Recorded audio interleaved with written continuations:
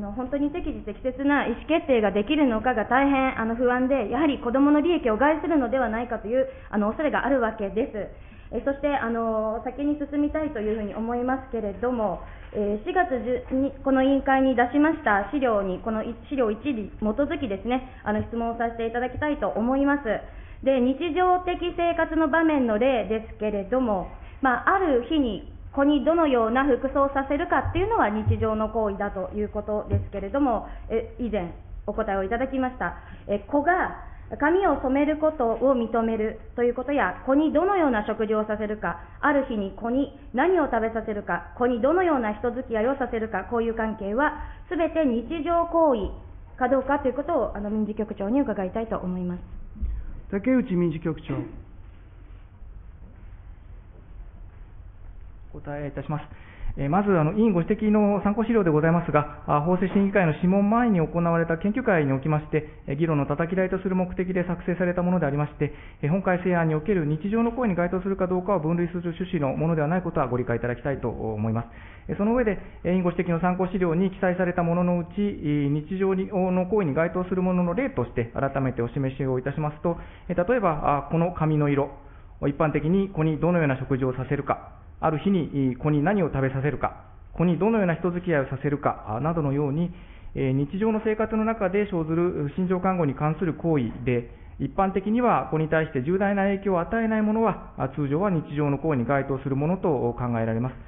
他方でこうした事項についても、まあ、子に対して重大な影響を与えるようなものであれば、日常の行為には該当しないということに考えておりまして、本改正案が成立した際には、その趣旨内容が正しく理解されるように、関係府省庁等とも連携して、えー、適切かつ十分な周知広報に努めてまいりたいと考えております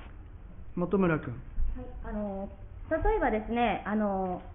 えー、子が髪を染めることを認めるかに関しまして、子に重要な、えー、影響を与えるという場面はどういうことを想定しておられますでしょうか？竹内民事局長。お答えいたします。先ほど申し上げましたように、まあ、あの例えばこの髪を染めるというようなあのことで、えー、申し上げますと、まあ、一般的にはこれに対して重大な影響を与えないものというふうには考えますが、例えばそれが校則違反になって退学の対象になってしまうというような、この進路に影響する場合というのが考えられるかというふうに思います。本村君。はい、あのそうしますと、えー、あの子があの髪の毛を、まあ、金髪にした場合、退学とか進学が難しくなる場合は、共同行使するべきだというふうに考えているということでしょうか。竹内民事局長。お答えいたします。あのまあ、個別具体的な事情にもよるところではございますが、委員ご指摘のような先ほどの事情があるのであれば、あ共同行使の対象になってくるのかと考えます。本村君。そうしますと、例えばパーマとかポニーテールとかツーブロックとか禁止している校則、学校もあるわけですけれども、まあ、それも校則に反するということで、共同行使しろということでしょうか。竹内民事局長。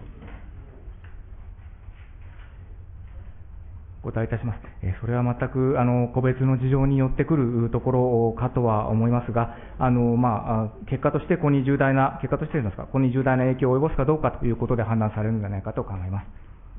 本村君。はい、あのそうしますと、単独行使か共同行使かの基準は、あのこの髪型の問題にで言いますと、髪を染める髪型の問題で言いますと、えこの基準はですね、えー、校則ですとか内心ですとか、あの教師の評価とか、そういうことが基準になっていくということでしょうか。竹内民事局長。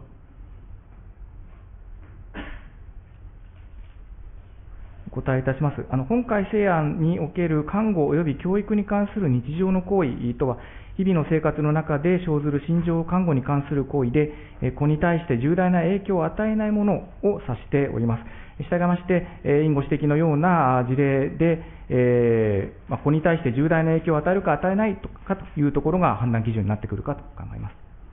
本村君。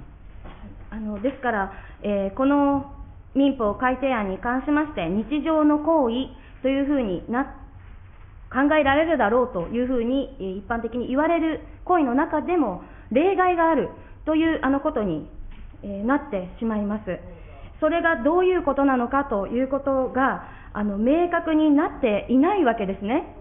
そうすることは結局適時適切なあの意思決定が難しくなる。えー同居している親御さんの自由を縛ってしまう。